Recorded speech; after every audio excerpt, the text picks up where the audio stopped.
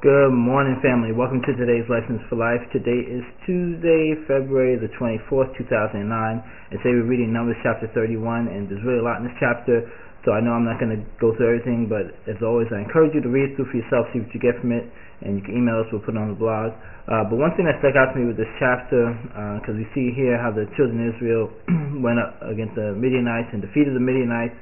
and then they brought back um, all the women and young children and uh, Moses was uh, upset with them actually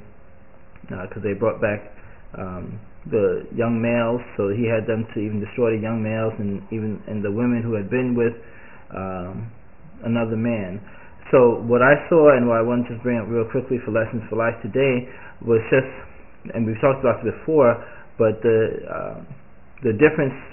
or the blessing it is to have a, a male child or um, just because you see the importance of the male child, even in this scenario here, because if they were to keep the male child, then children, then the Midianites would still continue on or carry on. So the male child is responsible for carrying on the legacy or the the name of the forefathers.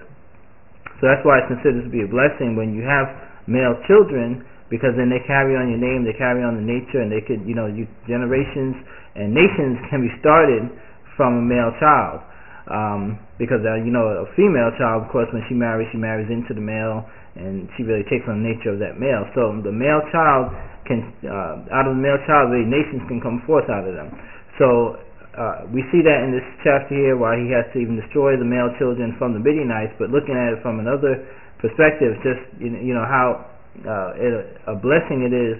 to have male children to carry on the legacy, to carry on um, the name and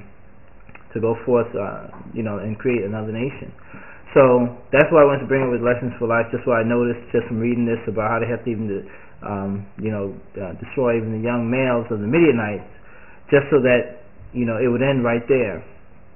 So, uh, with that, create yourself a wonderfully blessed day today, and we'll talk again tomorrow.